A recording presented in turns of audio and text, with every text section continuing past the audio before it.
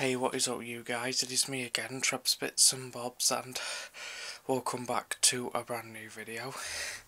And today, I have another unparceling to do. I think this is Star Wars unparceling, so we'll get this open.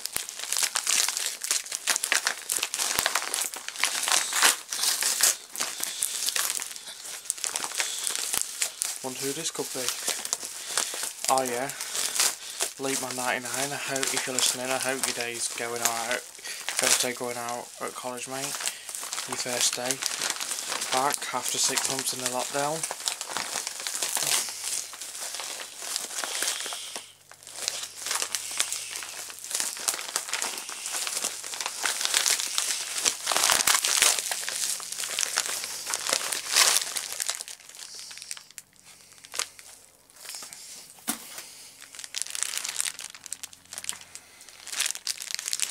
This is Yoda from Star Wars.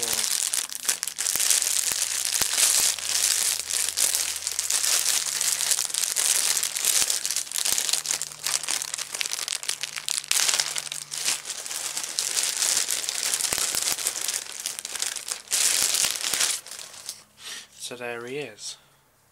This is Yoda from Star Wars. He is a a goblin, I think. So this is 12 inches tall.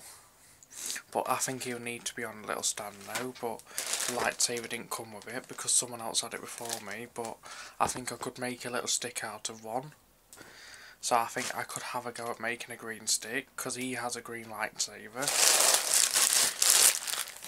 So, so yeah, so he moves his arms and his legs and because he is quite a small thing but he's still 12 inches tall.